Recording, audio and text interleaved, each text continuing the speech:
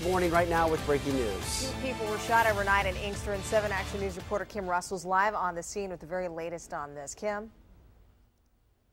near Glenwood and Division are waking up to a crime scene. If you take a look behind me, you can see that Michigan State Police are here collecting evidence. Investigators tell me they are investigating a double shooting. Now, sources tell me it's still under investigation, but possible it happened after a fight between neighbors. If you look at this house here, you can see the signs of what appears to be that fight. There's appears to be blood on the door and damage to the home and investigators are collecting numerous pieces of evidence. You can see the markers on the ground from this shooting. Now, Michigan State Police are investigating this because Michigan State Police took over for Inkster when it comes to fatal and non fatal shootings that happen here in the city overnight.